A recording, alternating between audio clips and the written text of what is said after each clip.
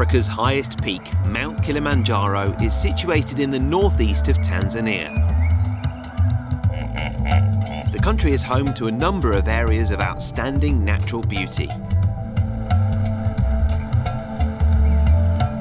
Along with Kilimanjaro, there's also Tanzania's famous national parks, Serengeti, Arusha and Lake Manyara. They boast some of the richest ecosystems on the planet. Yet for all its natural beauty, Tanzania remains one of the poorest countries in the world. The majority of the East African nation's 55 million inhabitants live a subsistence lifestyle in rural areas.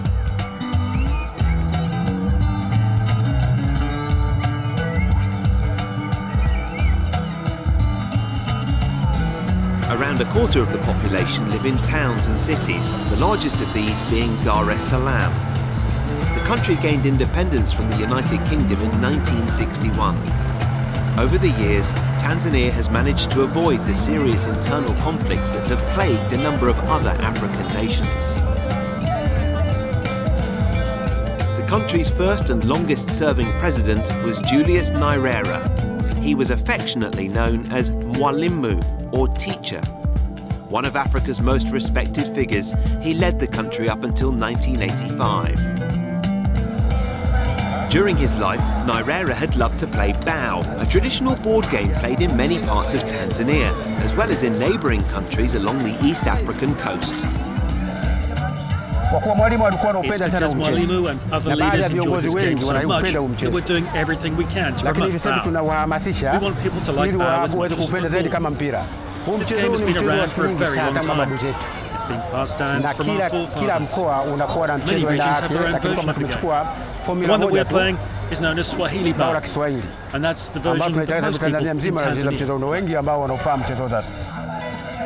Whilst in office, Julius Nyerere set up the Ministry of National Culture and Youth. The aim was to help foster a sense of national identity after years of colonial rule. And as a consequence, traditional games such as Bao began to thrive. The rules of Bao are very intricate, but in essence, the winner is the person who manages to capture the counters from their opponent and place them in their square shaped store on the board. Kasim Asamam Chumboy is General Secretary of the Tanzania Bao Association.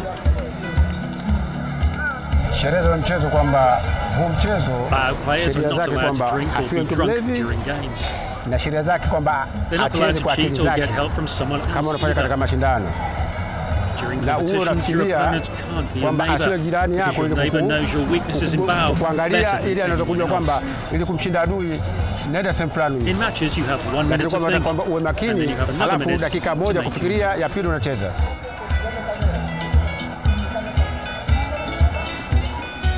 A successful Bao player must have good powers of concentration and be able to anticipate their opponent's moves.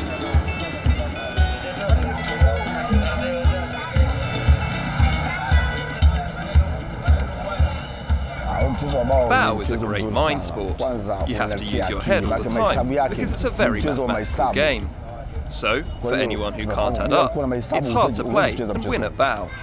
But, on the whole, it's not a very difficult game. You just need to be able to do the calculations. You can teach anyone how to play Bao in a day.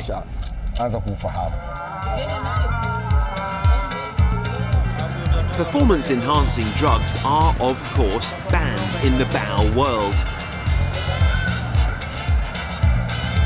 But saying that, players here do get through copious amounts of coffee during matches.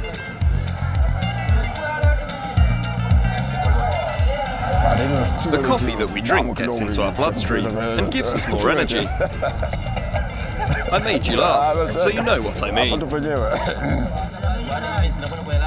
Although the game is still primarily a social pastime, there are Bao clubs all over the country and national competitions are staged regularly. And it's fair to say that this game stirs up quite a lot of passion in Tanzania.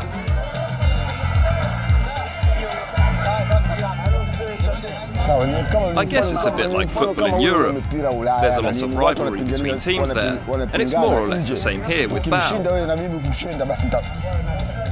There are some big rivals in Bao, and people have their favourite teams, and players who they like to follow.